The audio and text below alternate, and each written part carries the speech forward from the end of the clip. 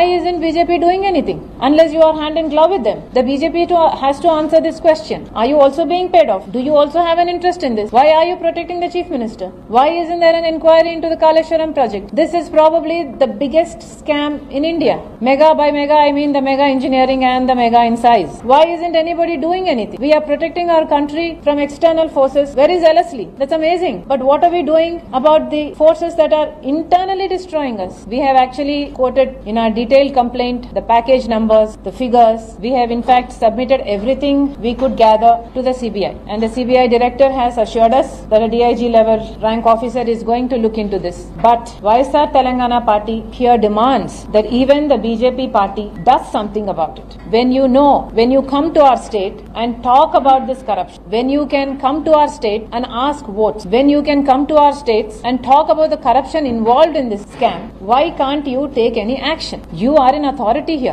What prevents you from taking action? What prevents you from commissioning an inquiry? This is my straight question to the BJP heads in Delhi. This has ruined our state. And this is not the only project. Projects like these have been happening in Telangana. Time and again, I'm saying this one person has been awarded every project in the state of Telangana. Yet nothing is happening. Why? Does this happen all over India? In every state? Does one person get all the projects? Like there is nobody else competent enough to carry on any other contracts or projects? So a CBI inquiry is a must. And I also challenge the Chief Minister of Telangana that if you are indeed cle- clean, as you claim to be, then you have nothing to hide. Please cooperate. In fact, please ask for a CBI inquiry yourself into the corruption of the Kaleshwaram project.